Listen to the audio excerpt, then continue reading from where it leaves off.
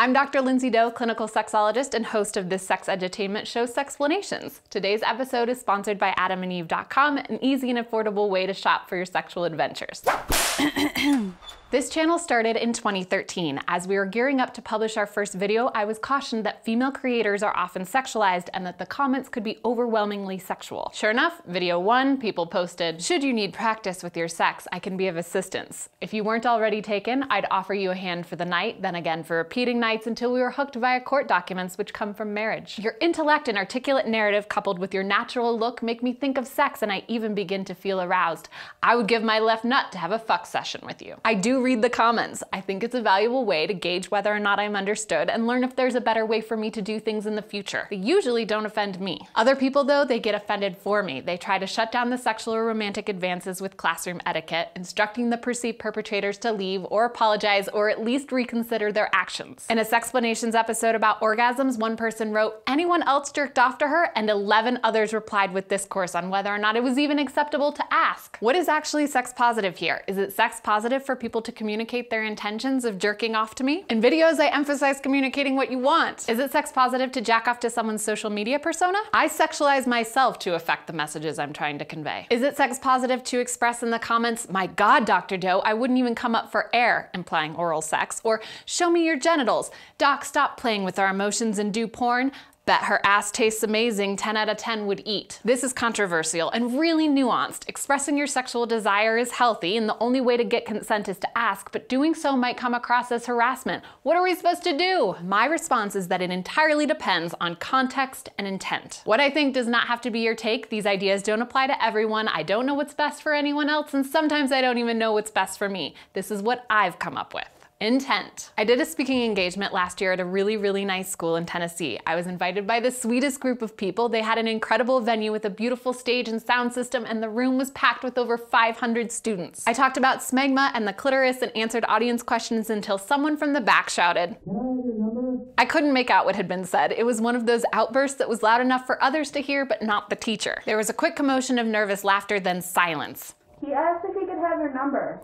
Ah. I responded, it's okay for you to ask for my number if you actually want my number. You could come up to me after the presentation and ask. I'm not going to shout it across a room of strangers to you. I think you want attention. In Tennessee, where I was speaking, they do not require medically accurate sex education. You don't need to cover sexual orientation or contraception, but you are mandated to discuss the negative outcomes of sex to teens. I was there to give people much needed information, and he intentionally detracted from that. His intention wasn't sex positive. So for the videos, if people post post in the comments what they want to do with my body, a request to get something sexual from me, and it reads as an expression of their sexual desire, I think it's good for them to practice and then usually say nothing or respond with a quick, no thank you. If people post with the intent to make me or others feel unsafe or inferior or just run their mouths and diminish the educational purpose of sexplanations, that's not cool. I don't consent to that and I will report them or block them. I think this person was somewhere in the middle. I have herpes and Doe has herpes means I can fuck her bareback. It's true that some people who are HIV positive will seek out partners who are also HIV positive and justify not wearing condoms. But just like HIV, herpes has multiple strains, so there's still a lot of risk of transmission. That and no, you may not fuck me at all. I did not consent. My intent is to educate.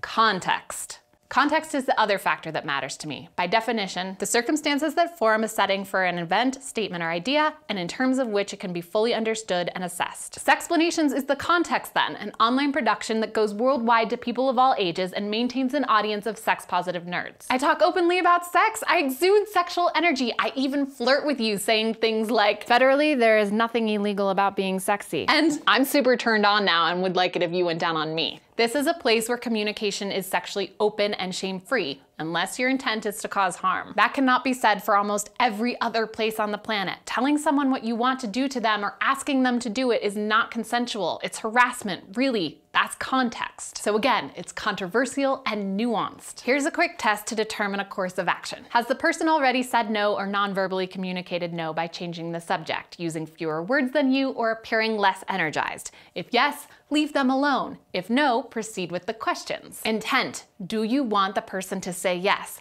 And can you excuse yourself if the person says no? Context. Is the person at work? And is the person younger than half your age plus seven? If you answer yes to the first two and no to the second, then you're generally in line with what's socially acceptable, at least in cultures like this one. I used to volunteer for a sex education website when I was 19. The supervisor was a medical doctor in Florida, and he'd help us with editing and problem solving on the platform. We all thought he was great and really looked up to him. I don't remember how things escalated, which sometimes happens with abuse, but at some point he propositioned me to be his mistress. He offered to fly me to Vegas, take me to shows, and teach me new languages. He said he was 35, then 45, then 65. Let's review. He wanted me to say yes. He could have stopped asking, but he couldn't really leave the shared space without one of us quitting.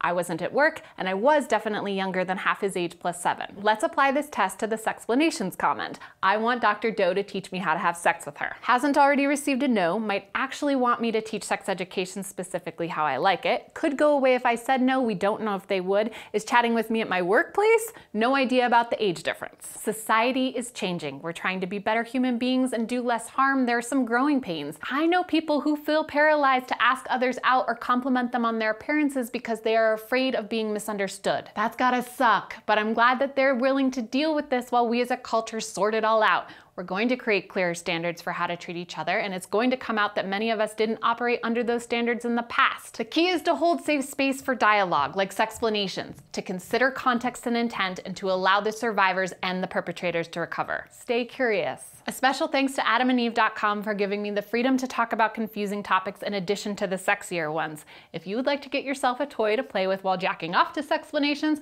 or something to play with instead of harassing people in the comments, I recommend this fleshlight where you can see the inside or this vibrator that swivels.